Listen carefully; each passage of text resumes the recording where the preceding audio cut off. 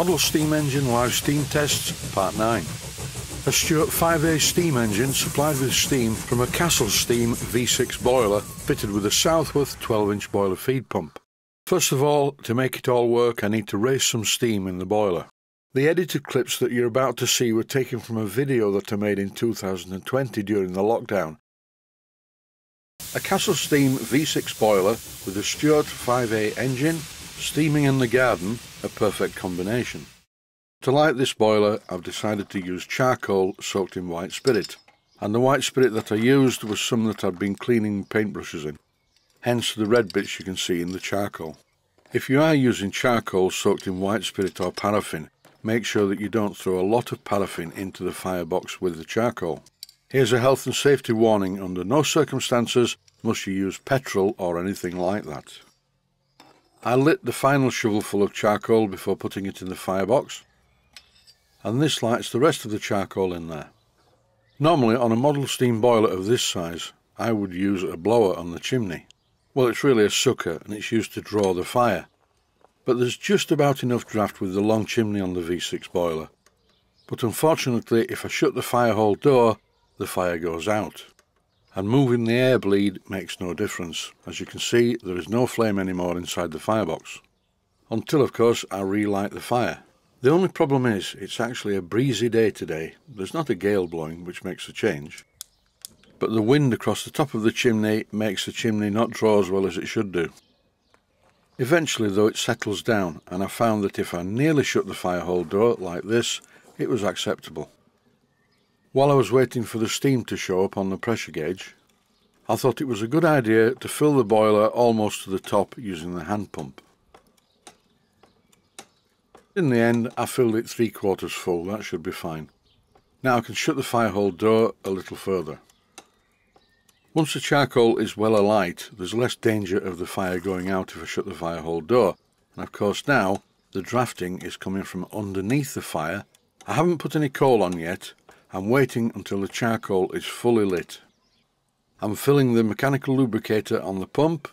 For this I'm using steam oil and I'm also just applying a little bit of steam oil to all the moving parts. This is an artistic shot of the chimney against the backdrop of all the garden greenery. There are birds flying in the sky, the wind has dropped and it's looking good.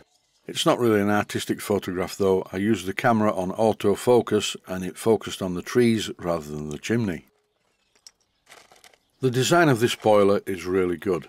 For instance, the firebox crown is quite a long way above the top of the firehole door, and as well as some other internal innovative designs, this boiler allows for a really good depth of fire. And once this coal is all alight, then the steam will be raised very quickly. But there's no rush, it's a nice day and it's good to get outside the workshop. The birds are singing and it's very tranquil here. Nothing's shown on the gauge yet, but very soon things will start to happen. It's always a good idea with a miniature steam boiler to initially raise the steam slowly. That's because all of the metal that's in the boiler expands quite slowly, not all at once. As soon as some pressure showed on the pressure gauge, I opened the blower, which blows a jet of steam up the chimney to draw the fire. Now I'm closing it to almost close because I don't want that much blast. This is the speed of steam generation with a Castle Steam V6 boiler. Time to open the steam valve to the pump. And here it is, sizzling nicely and pumping water into the boiler. The pump works okay, I think it's time to attach a steam engine.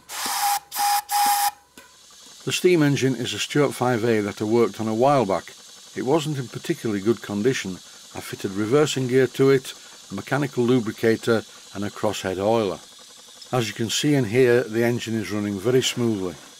A Stuart 5A has a 2 and a quarter inch diameter cylinder and the published specification from Stuart Models website is 1.5 horsepower at 80 pounds per square inch. In this clip I'm moving the engine between forward and reverse. The steam test is well overdue on this engine, mainly due to the fact that all through the winter the weather was atrocious. It really does run well. It's one of the smoothest 5As I've ever come across, Look at the speed of it and it's not dancing all over the table, so somehow it's very well balanced. If you look behind it at the water gauge you'll see that the level is dropping, so it's time to just switch on the pump and put some more water in there. By switch on I mean open the steam valve. This steam pump is actually too big for this boiler, it's putting too much water in too quickly and I overfilled it, I always do that.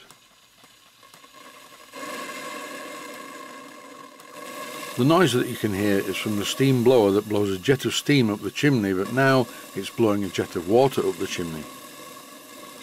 I opened the bypass valve so most of the water is being returned to the tank. With a steam pump of this type you do not need to fit a water bypass valve, but it's good to have one so you can run the pump to watch it working without filling the boiler. With the bypass valve open, all that happens is the pump takes the water from the tank and then it's pumped back to the tank, not into the boiler. I've opened the valve on the boiler to speed up the engine to clear the water excess. This clip shows just how good this boiler is. Its working pressure is 100 pounds per square inch, it's blowing off, the engine's really running fast. These four-way chime whistles are quite big and they use a lot of steam. And as you can see, the pressure is held at 100 pounds per square inch all the time. And it's starting to blow off again. Time for a bit of slow motion. Shortly before this, a friend of mine arrived and we're having a bit of a chat. My voice is louder than his because I'm nearer the camera and he's three metres away. That would easily power a 25 foot boat down the river. Just with that system, you could, you could lift it out yeah. when you finish running it. Yeah. So have you got the blower on? No. This would be a good plant for a small or medium-sized boat. 20 to 25 feet in length. A quick look at the fire tells me that the fire is in excellent order. It's worth mentioning that the exhaust from the engine is not going up the chimney. If that was the case, this fire would be white hot. In this clip I've dropped the pressure. I've pumped in quite a lot of water, I haven't got the blower on, and the fire is settling down. And there's still plenty of power coming from the 5A. By increasing the speed of the pump, more water has also been pumped into the boiler. That's about it for this video. Please stay safe and stay well. Thanks for watching and I hope you found it useful.